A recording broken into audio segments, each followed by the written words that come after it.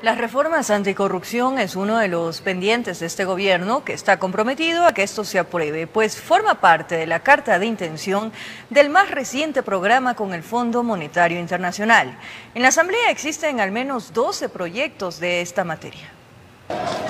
Faltan menos de dos meses para que concluya el 2020 y el gobierno mete el acelerador para que se agilite el trámite de dos leyes anticorrupción en la Asamblea. Las iniciativas fueron presentadas, la una en marzo pasado que incluye reformas al Código Integral Penal y otra se entregó en mayo luego de que salió a la luz la corrupción en el sistema de salud pública, por lo cual la propuesta se enfoca en la contratación pública en régimen de emergencia. Estas iniciativas están ya en la mesa de la Comisión de Justicia y para agilitar el trabajo, la Procuraduría anunció el envío de una codificación de todos los proyectos anticorrupción. Con el propósito simplemente de facilitar el eh, trabajo de la Asamblea Nacional, tener todo codificado de modo que cuando justamente conozcan proyectos de ley como la ley de extinción de dominio o la, el, el gran proyecto del Ejecutivo de ley anticorrupción, tengan en cuenta también elementos válidos existentes en otros proyectos de ley que se quedaron rezagados. El procurador aclaró que no se trata de un nuevo proyecto de ley anticorrupción porque eso retrasaría el trabajo legislativo.